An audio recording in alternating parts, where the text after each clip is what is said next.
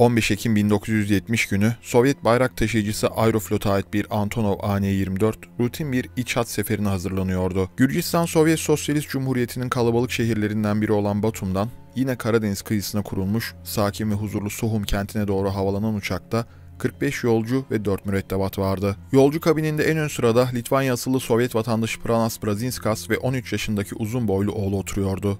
Brazinskas pek de parlak bir geçmişe sahip olmayan, iddialara göre çalıştığı dükkanda yolsuzluğa bulaşmış ve bu sebepten iki kez mahkum edilmiş bir rejim karşıtıydı.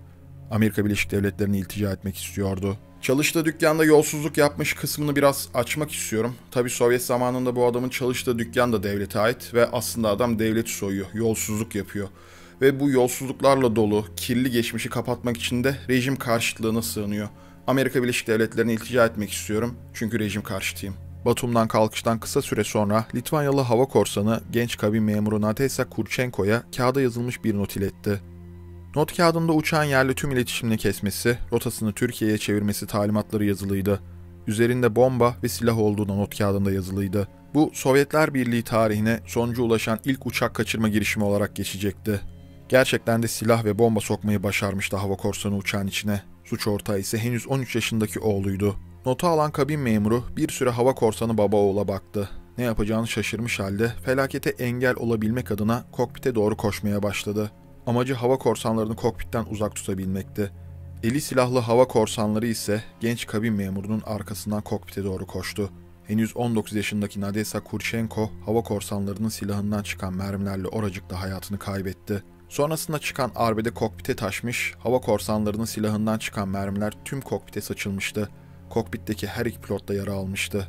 Tam 24 mermi ateşlenmişti kokpitte yaşanan arbede sırasında. Kazanan ise hava korsanı baba oğul olmuştu. El bombasını kaldırdı Brazinskas ve bağırmaya başladı. Kıyı şeridi solumuzda kalacak. Güneye Türkiye'ye doğru uçun. Sakın bulutların içine girmeyin. Uçak Türkiye sınırına çok yakın olan Batum şehrinden kalkmıştı ve hava korsanları uçağı ele geçirdiğinde Batum'dan henüz çok uzaklaşmış sayılmazlardı. Çok kısa bir süre sonra Türk hava sahasına gireceklerdi. Pilotlar yakınlardaki bir Sovyet hava üssüne iniş için rotayı değiştirmeye kalksalar da hava korsanlarını kandırmayı başaramadılar. Şimdi pilotların en büyük korkuları Türk hava sahasına Sovyet sınırından tanımsız bir uçak olarak girdikten sonra başlarına gelebileceklerdi. Türk Hava Kuvvetleri'nin önleme uçaklarının gazabına uğramaktan korktular. Belki de NATO'ya ait hava savunma sistemleri devreye girecek ve bir füzeyle vurulacaklardı. Ancak hava korsanına karşı koyabilecek durumda değildi pilotlar. Üstelik yaralıydılar. Türk hava sahasına girdiler. Kıyı şeridini takip ederek bir süre sonra Trabzon Havalimanı'nı buldular. Trabzon Hava Trafik Kontrol Kulesi'ne bağlanmaya çalıştılar ama olmadı. En nihayetinde yaralı pilotlar uçağı Trabzon Havalimanı'na indirmeyi başardılar. Bu durum Trabzon için bir ilkti ancak son olmayacaktı. 3 sene sonra 1973 yılında bir Antonov AN-2 Trabzon'da boş bir araziye indi ve yine bir Sovyet pilotu uçağıyla birlikte Trabzon'a Türkiye'ye iltica etmiş oldu. 1989 yılında da birçoğunuzun bildiğini tahmin ettiğim MiG-29'da kaçış hikayesi. Alexander Zuyev Yine Gürcistan Sovyet Sosyalist Cumhuriyeti'nden bu kez bir savaş uçağıyla bir, bir MiG-29 ile birlikte Trabzon Havalimanı'na iltica için iniş yaptı. Sovyet uçağı Trabzon'a indikten sonra Türk güvenlik güçleri derhal olaya el koydu. Önce hava korsanı Babaoğul gözaltına alındı. Hayatını kaybeden kabin memurunun cenazesi uçaktan çıkarıldı. Yaralı pilotlar tedavi altında alınmak üzere hastaneye kaldırıldı. Yolcular ise bir gece Trabzon'da misafir edilmek üzere uygun devlet dairesi misafirhanelerine yerleştirildiler. Hava korsanı Pranas Brazinskas, Sovyet yönetimine muhalif Litvanya merkezi bir örgüte üye olduğu gerekçesiyle Amerika Birleşik Devletleri'ne iltica talebinde bulundu. Sovyetler Birliği ise hava korsanının ve uçağın derhal iadesini talep ediyordu Türkiye'den. Rus gazeteci Fyodor Razakov'un 2009 yılında yayınlanan bir kitabı var. Suç Dünyası'nın Ansiklopedisi 1970-79 yıllarının Haydutları isimli bir kitap ve bu kitapta bu olaya dair çok ilginç bir iddiaya yer veriliyor. Kitabın iddiasına göre Ankara uçağın iadesi konusunda isteksiz davranınca Sovyet askeri istihbaratı GRU bir hazırlık içine girdi, bir plan yaptı ve Türkiye sınırını geçerek Trabzon Havalimanı'nın 180 kilometre yakınına kadar sokuldu. Daha sonra olay diplomasi yoluyla çözülünce yani Ankara uçağın iadesini kabul edince geldikleri yoldan tekrar sınırı geçtiler ve Sovyetler Birliği'ne döndüler. Bu çok ilginç bir iddia o yüzden buna da yer vermek istedim ve uçağın iade edildiği gün 16 Ekim 1970. Şu an izlediğiniz görüntüler o güne ait görüntüler, o güne ait kayıtlar. Çok eşsiz e, arşiv görüntüleri.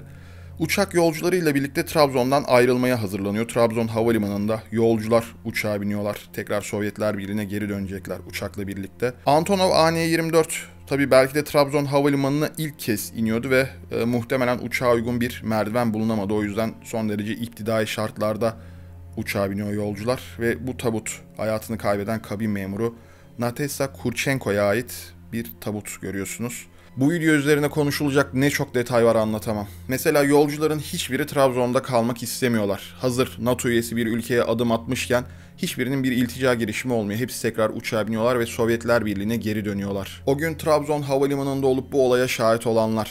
Mesela Nadesa Kurchenko'nun tabutundaki o çiçeği kim yaptırdı? Bir genç kızı son yolculuğuna uğurlarken bu inceliği kim gösterdi? Mesela orada nöbet tutan askerler. Olay 1970 yılında olduğuna göre ve 20 yaşında askere gidildiğine göre muhtemelen 1950 doğumlular ve teknik olarak hayatta olmalılar. Kim onlar? Şu an ne yapıyorlar? O gün nelere şahit oldular? Uçağın penceresinden bakan şu çocuk. Şu an o da çok muhtemelen hayatta en azından teknik olarak. Ve nasıl bir hayatı oldu? Bu olayı nasıl hatırlıyor?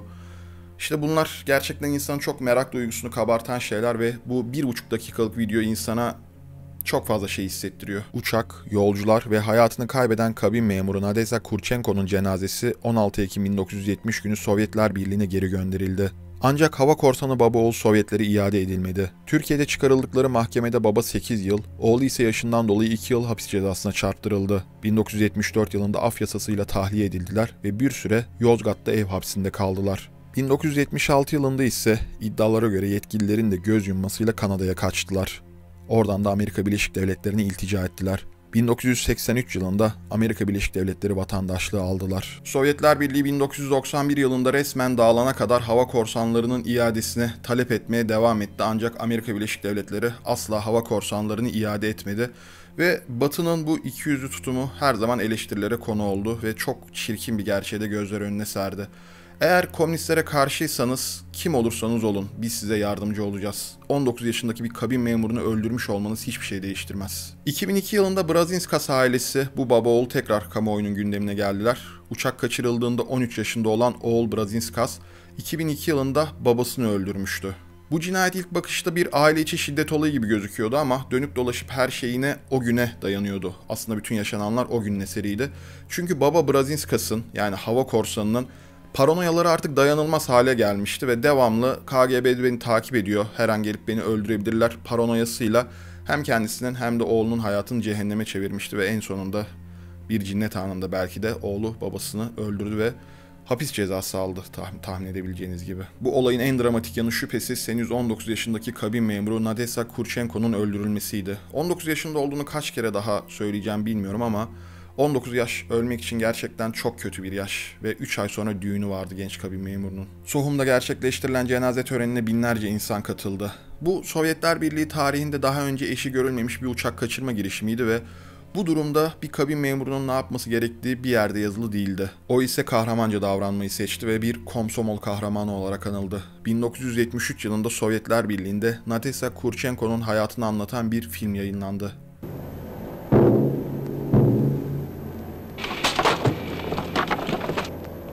Nadesa Kurchenko'nun hayatını kaybettiği an filmi işte böyle aktarılmış. Tabi burada baba oğul figürü biraz daha farklı şekilde yansıtılmış. Yani aslında oğul uzun boylu 13-13 yaşında. Yani çok genç birisi.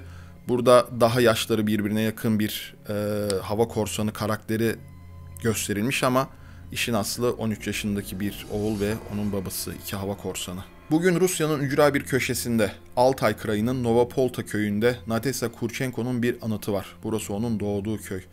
Günün birinde Rusya'nın o uçsuz bucaksız topraklarında gezerken bu genç kabin memurunun anıtını görürseniz evet artık onun hikayesini biliyorsunuz. Bir diğer anıt da Sohum'da yapılmıştı Sovyetler Birliği zamanında Nadesa Kurchenko için. Fakat 1990'lardaki e, Abazya'nın bağımsızlık mücadelesi sırasında bu anıt tahrip edildi. Daha sonra 2017 yılında üzerine ağaç devrilmesi gibi bir sebepten sanırım bu anıt yok oldu. Fakat Sovyetler Birliği zamanında e, bu genç kabin memuru için iki farklı anıt yapılmış. Dünyanın başka neresinde bir kabin memuru için yapılan anıtlar vardır bilmiyorum ama Bu bence olayın hem Sovyetler Birliği tarihi açısından hem de havacılık tarihi açısından ne kadar önemli olduğunu göstermek açısından iyi bir gösterge. Bu arada bu olay da son kitabımda yer verdiğim nice olaydan bir tanesi. Eğer merak ediyorsanız hem açıklama kısmına hem de ilk yoruma bir link sabitleyeceğim. Oradan inceleyebilirsiniz ve satın alabilirsiniz. Yakın Türkiye tarihi işte böyle biraz derinlerine indiğinizde, biraz kızdığınızda ne ilginç olayların ne efsanelerin sahnesi aslında Türkiye. Bunları sizlerle paylaşmayı çok seviyorum. İzlediğiniz için teşekkürler.